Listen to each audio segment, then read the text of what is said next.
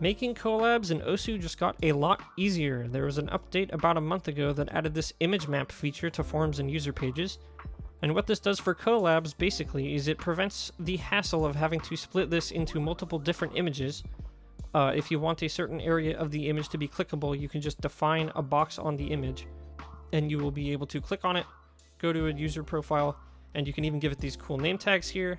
Very useful. You can have it go to uh, tournament pages, whatever you want.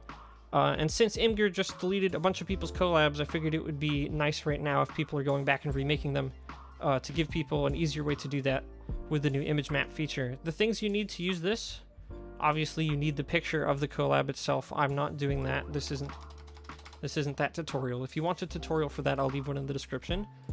Uh, and to make each box work, each box needs a x, y, width, and height value, which importantly are not in coordinates, they're in percentages. Uh, so you need an easy way to get that, and I'm going to be showing you a very easy way in GIMP, which is free to download. I'll leave that in the description as well. Um, this has a pretty easy way to get percentages very quickly. And then you need the URL to redirect to and the title for the, uh, the name tag thing on top. Uh, so we'll be using this image right here. It's cool. I just like, I don't know, I found it on Google. I figured I'd use it. Uh, if you want to make the image map template, you can click this button here. It's the little one that looks like a map. It has image map on it. Uh, you need the URL for the collab picture itself, which I have over here. Remove this part. Uh, and so we're going to be getting these uh, coordinates for the uh, box that I want to make. Say, for example, I want to make Haruhi's head, because of course I'm Haruhi, uh, redirect to my user page. I can draw a box around this, and on the side here, GIMP will, you might need to navigate to the menu, but GIMP will tell you the position and size of your selection. By default, it's in pixels, but you can click this drop-down menu and just change it to percent like that. Makes it a lot easier.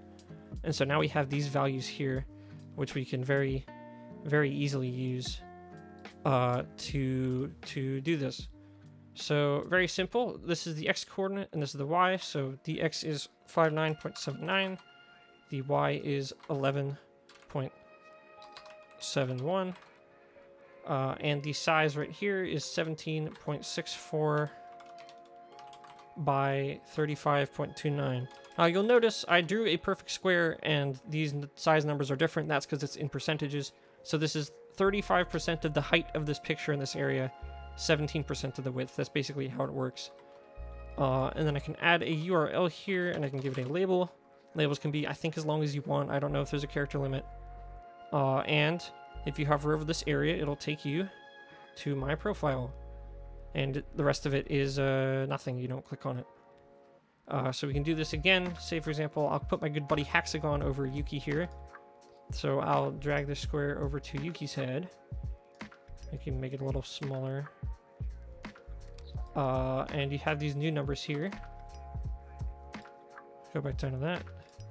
26.71. 30.57. Whoops. Uh, 16.29 and 32.57.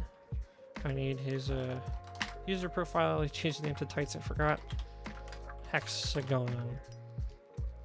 And that'll be the box right there. Hopefully this is pretty easy to use. Uh, it's a lot better than having to split these manually into different images and uploading them all to Imgur, especially if you want like slightly offset boxes like this. This is a super easy way to do that. Uh, that's about it